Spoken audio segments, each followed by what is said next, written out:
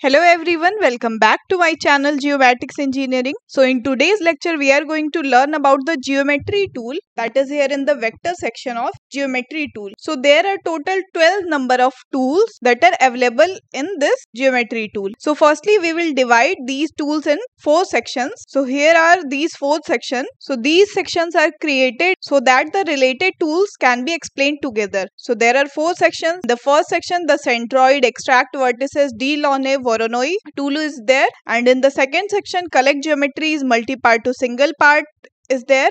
And in the third section densify by count simplify is in the third section.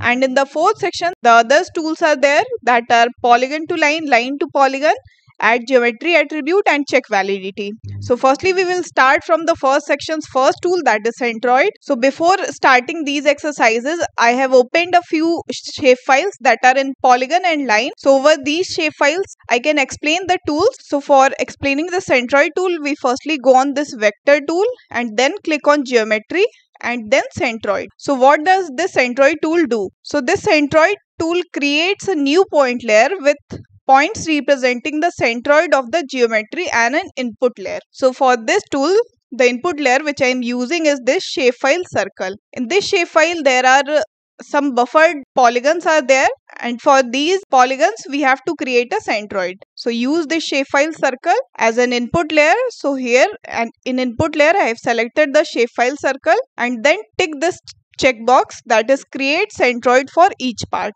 then click on run and after completing this task you will get a point shapefile that is a centroid of these input layers. Here you can see that there are point shapefiles which are centroid of these buffer polygons. So now the second tool is from the first section is extract vertices. So what does the extract vertices do? Firstly what is vertices? So if we go on any shapefile like here I have a line shapefile. Vertices are basically nodes. If we start its editing and click on this vertices tool we can see that these red points which are nodes of these line shapefiles and these nodes when these nodes are connected then it creates a line. So using this extract vertices tools we will extract all these nodes together in a point shapefile form. So turn off this editing tool and then run the extract vertices tool on this line shapefile. So firstly we will click on this vector then geometry tools then click on extract vertices and here as an input layer we have selected this line and then click on run. So what we can see here where there was a node or vertices that is extracted in a point shapefile form. So by using this tool, the extract vertices tool, we can easily extract all the nodes that are available in any polygon or line shapefile. Now the next tool is that Delaunay triangulation. So what is this Delaunay triangulation? So firstly we will click on this vector tool geometry and then click on Delaunay triangulation. So this algorithm creates a polygon layer with the Delaunay triangulation corresponding a points layer. So for the Delaunay triangulation we have to use the input layer in a point shapefile. So for this we have used this centroids that we have created using the centroid tool. So for this firstly click on vector then geometry tools then click on Delaunay triangulation. Then use the input layer as a centroid. Then click on run. And here you can see that by using these point shapefiles, it creates a polygon using Delaunay triangulation algorithm. And just like these, our next tool that is Voronoi will also work. So for this, firstly go on vector, geometry tools and then click on Voronoi polygon. So this algorithm takes a point layer and generates a polygon layer containing the Voronoi polygon. So for this also we have to use a point shapefile as an input layer. So in the input layer we again select these centroid points and the buffer buffer region will be as default as 0 and now click on run. So here we can see that using these point shapefiles the Voronoi polygons are created here. So in the first section, there were four tools that was centroid, extract vertices, Delaunay and Voronoi. Now let's talk about second section of this geometry tools. So firstly talk about collect geometries and for that we have to click on vector, geometry tools and then click on collect geometries. So this tool can merge the polygons or any shapefile that have one or more attribute that can be specified to collect only geometries belonging to the same class. Like for this I have have a shapefile which has multiple polygons and in this polygon attribute table there is a, column that has a village names and like there are three polygons that have the same village name. So this collect geometry tool will combine it together. So in input layer we will use this multi-part geometry shapefile and this unique id field. We will select this village and then click on ok and then click run. And after that we can see that in collected shapefile there are all the unique names in this village name the total 25 polygons are there and in the original one there were total 30 polygons. So all the duplicate names in the village column were merged together. And after that we will talk about the second tool that is multi-part to single part. It does the exact opposite of the collect geometry tools like we have a collected geometry tool where in a single polygon the multiple parts of a same polygon are covered. So multi-part geometry will split it with its attribute. So for this we have to click vector then geometry and then click on multi-part to single part. For this we use the input layer as the collected layer which was the output of that last tool which was from collect geometries tool and now click on run and in the output we can see that now the attributes are duplicate again and we got the original shapefile which has the total number of 30 polygons were there. And now we will talk about this third section of this toolbar where the first tool is densify by count. So what does this tool do? Like I have a shapefile which has line features and if we see its vertices there are only two vertices. So densify by count increases the number of vertices. So for this go on vector then click on geometry tools then click on densify by count and for this tool you can use input layer as a any line or polygon shape file. So here I am using this line shape file as an input layer and number of vertices to add. So here I am writing it as 10 and then click on run. And now if we start this densified output editing and click on vertices tool, we can see that the number of vertices are increased. Earlier there were only two vertices and now it is increased by 10 vertices. So we will turn off the editing of this densify tool and again talk about the next tool that is simplify. So simplify tool is just do the opposite of the densify tool. For this we have to go again on vector and then click on geometry and then click on simplify. Simplify tools reduces the number of vertices. Like if we run on this densified layer which has a lot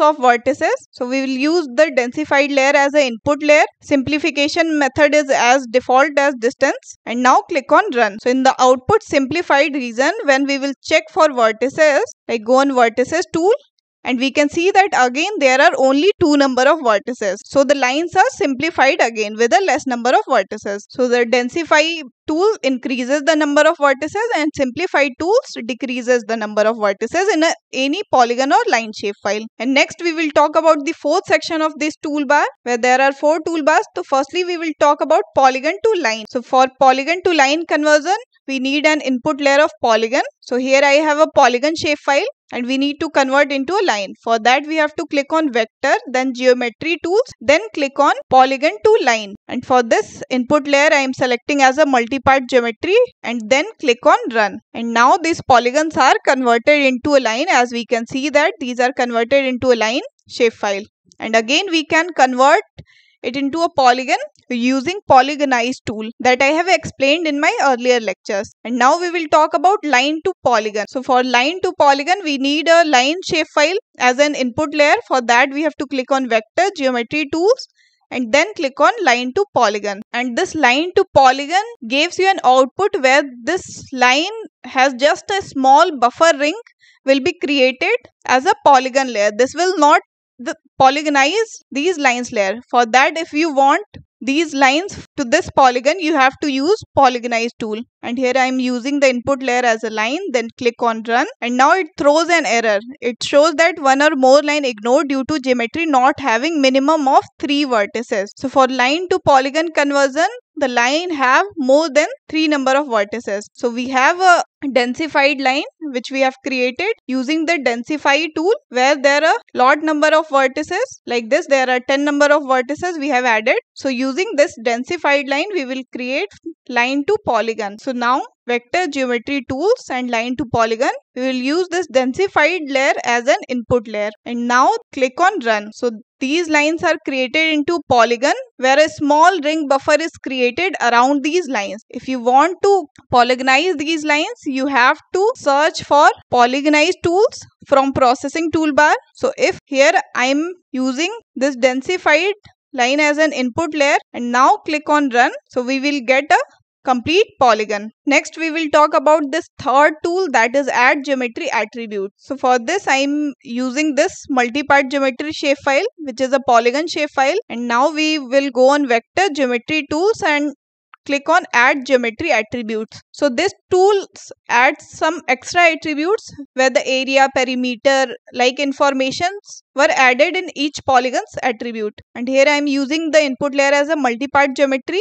shapefile. Calculate using layer CRS and now click on run. When we will check the attribute table of this, the area and perimeter of each polygon is added in the attribute table. And if we if we run this add geometry attributes on a point shapefile then it will give us the latitude and longitude locations of that point shapefile or if we give the input layer as a line shapefile then it will provide us the length of that line in the attribute section. Now the next tool is check validity. For that i have a shapefile here i have a shapefile which are created wrongly for validity checking. So for this we have to go on vector then click on geometry tools and then click on check validity. For this I am using the input layer as validity check and now click on run. So it will give us the three output the valid output, the invalid output in a polygon and the error output. So there are some points are there where the error is in the input layer. So here an intersection is occurred in the polygon